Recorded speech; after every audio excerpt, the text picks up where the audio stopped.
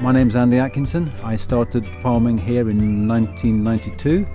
In about 2000, I pressed my first apple and made some wonderful apple juice and managed to sell that and decided that the year after I'd make some cider.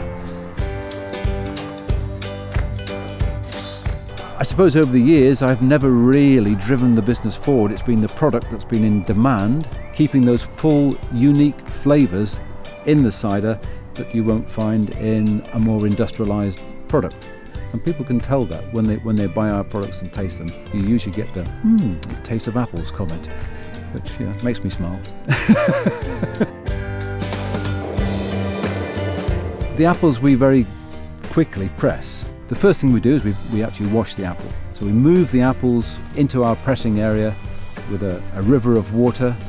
The next thing, it, it's given a final wash before it goes into the mill, minces up the apple into a pomace, and then press the juice out of them.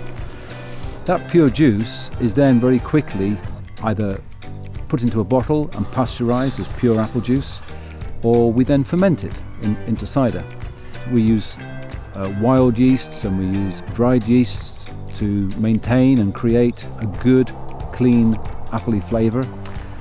Uh, we also make sure we balance the different types of apples. Uh, we make sure we've got a good blend of all of them to, to, to give ourselves a good base cider of which we can make various products from.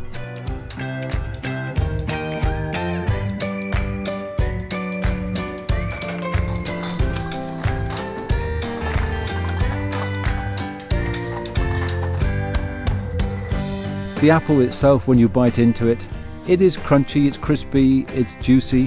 When you take a drink of apple juice, it's more intense. The, the, the flavours are intensified.